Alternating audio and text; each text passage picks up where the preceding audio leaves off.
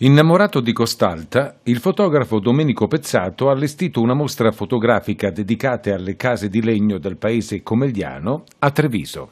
Le immagini del paese di Costalta di Cadore varcano il confine della provincia di Belluno e sbarcano a Treviso grazie al maestro Domenico Pezzato, che ha presentato a Treviso una serie di fotografie realizzate con grande maestria nel paese del Comelico.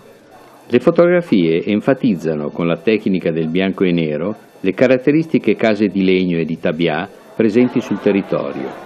L'intero processo di sviluppo e stampa è curato direttamente da Domenico Pezzato. Perché Costante è bella, è straordinariamente bella. Costante è un paese a sogno, da favola, è un paese del libro dei sogni.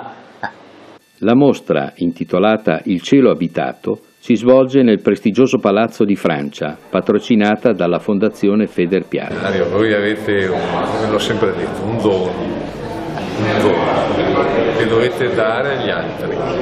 All'inaugurazione presentata da Lino Bianchin sono intervenuti Luciano Franchin, assessore alla cultura del comune di Treviso, Giovanni Tosello, presidente della fondazione Feder Piazza, Pietro Lorenzon che ha letto un saggio sull'artista e Patrizia Rizzo, presidente di Costaltarte, che ha portato i saluti e i ringraziamenti per quanto fatto per la comunità di Costalta.